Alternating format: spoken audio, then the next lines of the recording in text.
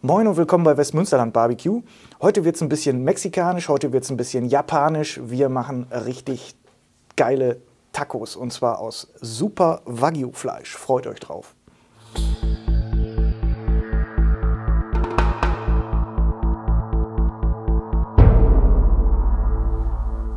Ja, äh, Fleisch, guckt euch das hier an. Ist das eine Marmorierung? Das ist der Hammer.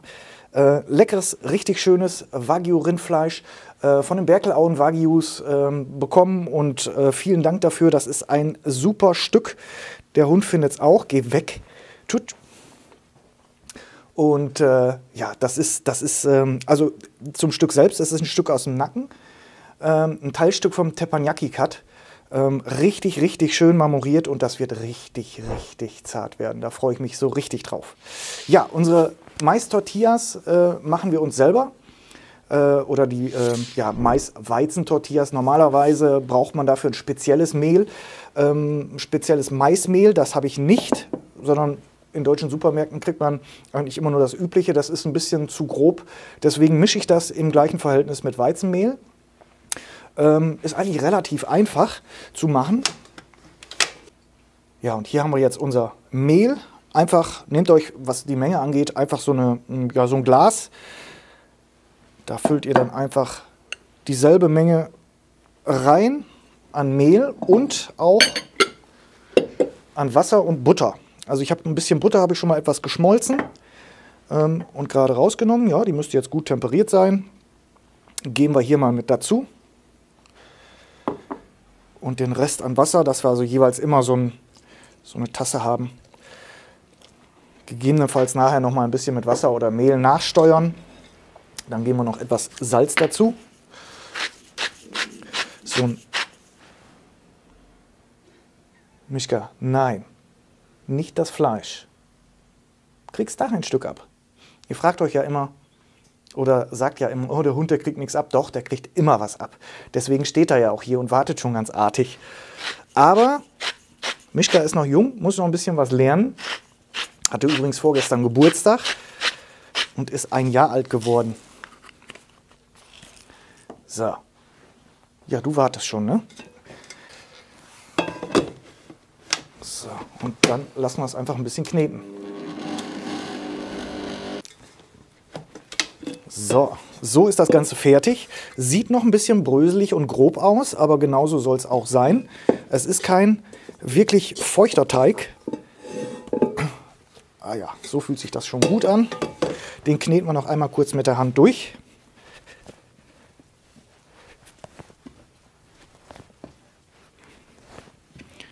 Und damit sich das Ganze gleich schön verbindet, legen wir den nochmal in die Schüssel, decken ihn ab und lassen ihn eine Stunde ruhen. Das ist relativ wichtig, damit auch das Maismehl so ein bisschen aufquellt und alles schön miteinander sich verbindet.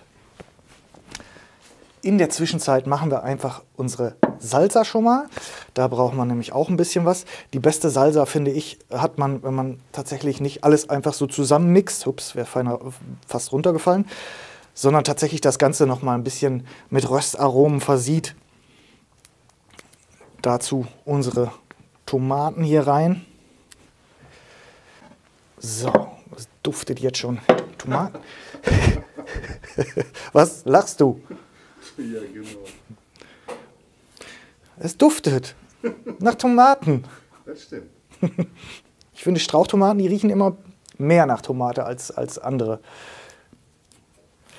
So, ein bisschen Zwiebel brauchen wir auch noch. Ganz grob nur schneiden. So, die geben wir da einfach so mit rein.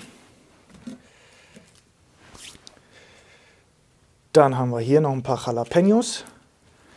Auch die geben wir damit rein. So wie sie sind.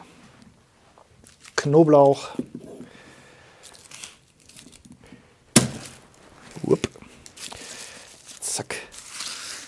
Den verhüllen wir vorher mal eben aus der Jacke. Leicht andrücken, reicht schon.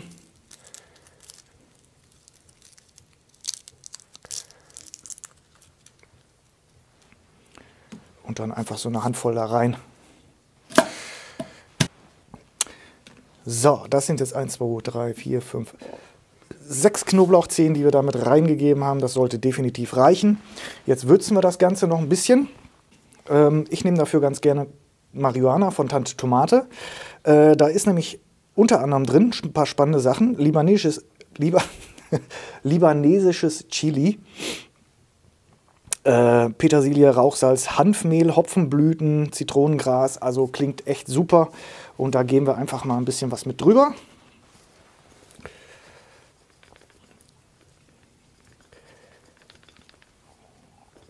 So. Nicht sparsam sein. Und dann einfach ab in den Grill. Äh, mittlere, Temper ja, mittlere Temperatur ungefähr, also indirekte Hitze. Nicht direkt von unten anbraten, sondern insgesamt so ein bisschen backen. So.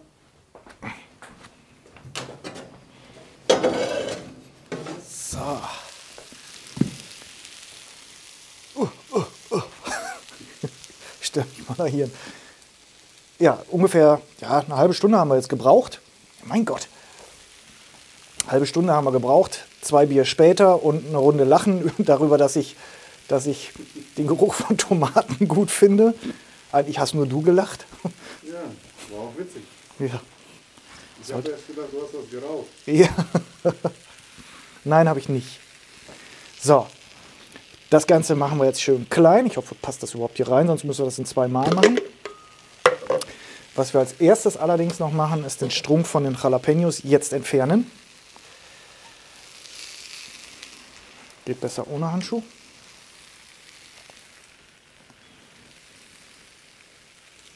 Oh, war heiß.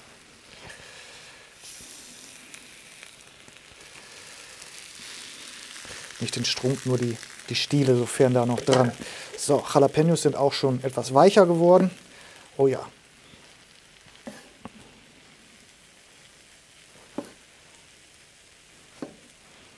Ansonsten lassen wir alles so, wie es ist, dran und geben das jetzt mal hier in unseren Mixer, so wie es ist. Ja, ich mache das in zwei Etappen. Wenn ihr euch da weniger nehmt, dann macht das in einer. Hier haben wir noch ein bisschen äh, Koriander. Nicht zu verwechseln mit Blattpetersilie, sieht ja ähnlich aus. Da geben wir jetzt einfach mal so ein bisschen was oben mit rein. So, Deckel drauf. Und dann ab da geht's. Äh, ab geht's.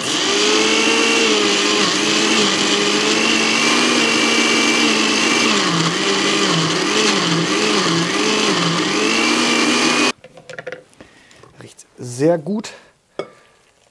Das füllen wir mal hier rein und lassen es etwas abkühlen. Und dann machen wir auch noch die zweite Lage fertig. Oh, fuck! Warum fasse ich die Pfanne an? Kacke! Boah, ich bin auch. Scheiße. Das war ganz schön heiß. Das war ja nur deine Hand. Ich habe nämlich zum Schluss die Temperatur in dem Grill echt nochmal richtig hochgejubelt, damit alles äh, ja, tatsächlich auch noch ein bisschen Röstaromen kriegt und nicht nur so gebacken wird. Oh, das war heiß. So, jetzt in die zweite Lage gebe ich jetzt einfach, habe ich bei der ersten gar nicht gemacht, noch ein bisschen ähm, Limettenzesten mit rein. Also ein bisschen was von der Schale, gibt also auch nochmal einen schönen fruchtigen Kick. Wir vermischen das gleich eh zusammen. Man sollte natürlich Bio-Limetten nehmen und die auch gründlich vorher abwaschen. Trotzdem.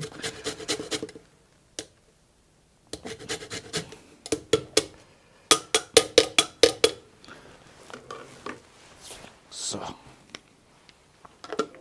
Und die Runde 2. So. Zur anderen dazu. Ist natürlich eine ganz ordentliche Portion.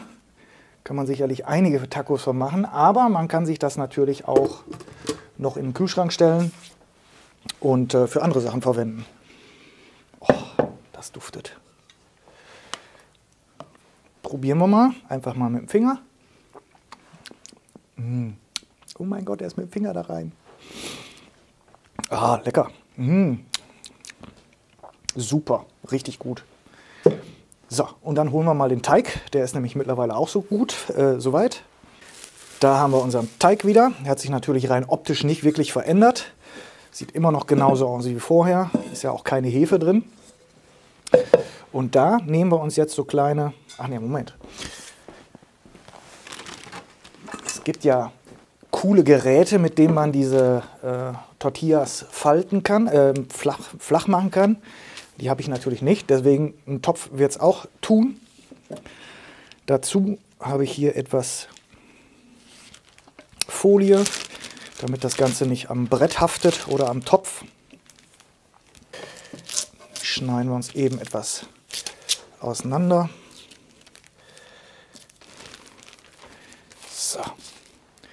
Dann nehmen wir uns hier so ein kleines bisschen, oh ja, man, man merkt es jetzt schon, wenn man hier dran zieht, also es ist schon ganz anders geworden als vorhin. Es hat sich ein bisschen verbunden, richtig gut. So, jetzt eine kleine Portion nehmen, die noch einmal durchkneten. Da drauf.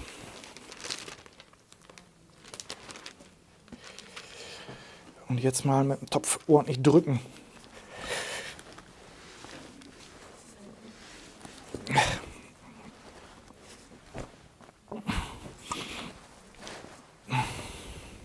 Tada! Sieht doch gut aus, kann aber noch ein bisschen flacher aus. Man, hier, hier ist das WMF-Logo drin. Ja, doch. Also quasi könnt ihr eure Tortilla-Fladen auch noch selber personalisieren damit. Das sieht gut aus. Übrigens der Unterschied zwischen ähm, Tortillas und Fajitas und Burritos äh, liegt darin, dass äh, eine, das ist quasi eine Weizen- oder eine, eine Mais-Tortilla. Äh, wenn die gefaltet wird, haben wir ein Taco. Wenn die äh, schon, ich sag mal, im Restaurant äh, gerollt wird und befüllt wird und dann an den Tisch gebracht wird, haben wir ein Burrito. Und ähm, wenn die am Tisch selber befüllt wird, haben wir eine Fajita. Das ist eigentlich der einzige Unterschied. Ist alles dasselbe so ziemlich. Und äh, ja. So, jetzt können wir das hier, glaube ich, ganz gut nochmal gebrauchen. Können wir uns mal ein paar fertig machen gleich. So haben wir einen schönen Fladen. Zack.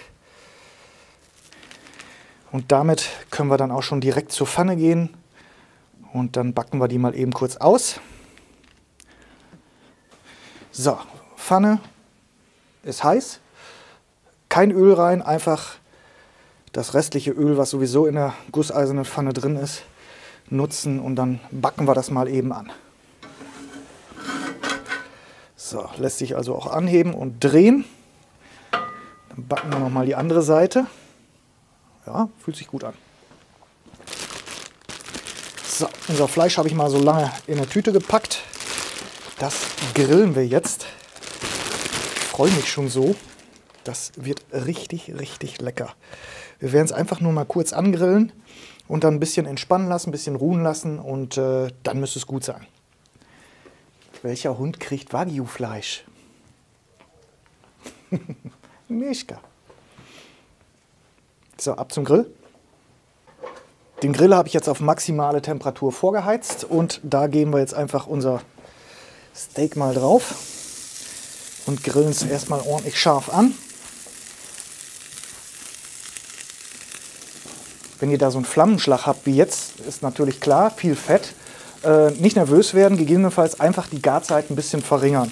Also nicht so wie normales Steak, was vielleicht etwas mit weniger Flamme brennt, äh, grillt, sondern einfach nur ein bisschen kürzer machen. Und so sieht es doch schon ganz gut aus.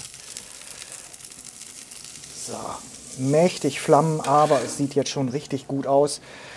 Der Grill ist jetzt noch vorgeheizt und da legen wir es jetzt mal da rein und lassen es noch ein bisschen nachziehen. Und da habe ich etwas Käse. Einen schönen Raclette-Käse, den lassen wir einfach schmelzen, der kommt da gleich mit drauf. So viel zum Porno. Ja, Steak ist fertig und es riecht so gut. Und ja, was, was nicht so gut ist, ist der Käse, wenn man den nämlich zu lange drauf lässt dann wird der, ja, dann trennt sich das so ein bisschen und es verläuft nicht mehr so schön. Aber ich habe gerade probiert, es schmeckt immer noch nach Käse. Und ist auch im Biss noch sehr, sehr geil. Also von daher alles gut. Vielleicht demnächst etwas eher runter machen. Das passt dann schon. So, erstmal unser Steak anschneiden. Das schneiden wir jetzt in schöne Tranchen. Nein, Mischka weg. So, da guckt euch das mal an. Das ist so geil, so weich, das lässt sich so schön schneiden. Herrlich. Ich habe es übrigens bei 51 Grad rausgenommen. Also Thermometer rein beim indirekten ziehen lassen und dann noch ein bisschen warten. Dann machen wir da noch ein bisschen Salz und Pfeffer drüber. Mehr braucht ein gutes Steak nicht.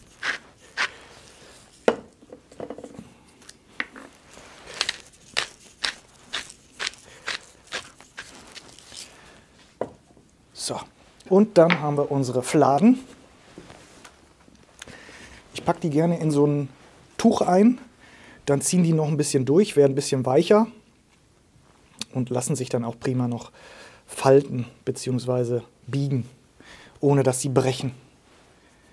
So, und so. Hier habe ich noch ein bisschen Tomate, Zwiebel und Gurke klein geschnitten und schon mal vermischt. Das können wir da gleich so mit reingeben. Aber erstmal das Fleisch. Zack. Gehen wir mal zwei Streifen hier rein. Dann geben wir ein bisschen was von unserer Salsa da rein. So.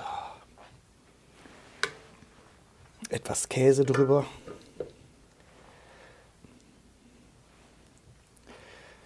Oh, schön, schön Käse da rein. Dann mag ich es gerne, wie gesagt, wenn noch ein bisschen was Knackiges, Frisches da drin ist.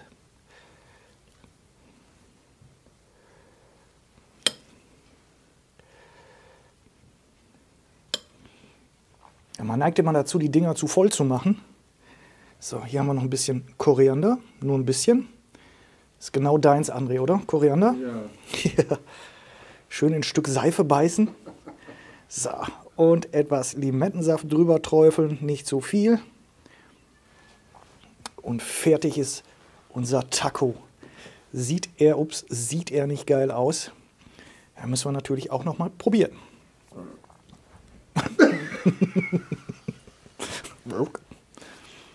so, dann testen wir mal. Mm.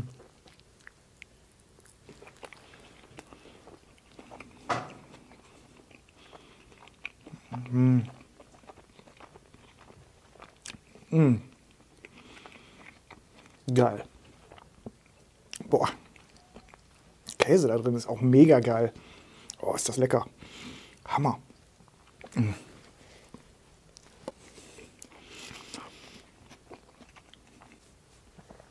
So lecker. Der absolute Hammer. Das, mm. das Fleisch ist so saftig, so, so lecker, richtig cremig, da schmeckt man raus. Dazu gibt noch eine richtige Cremigkeit natürlich der Käse. Die ganzen Aromen von, den, von der Salsa und von. von oh, es ist richtig lecker, richtig lecker. Absolut geil. Probiert's mal aus. Und die Fladenbrote sind übrigens auch ziemlich gut geworden. Oder die Tortillas. Ja, ich hoffe, euch hat das Video gefallen. Wenn ja, gebt mir einen freundlichen Kommentar.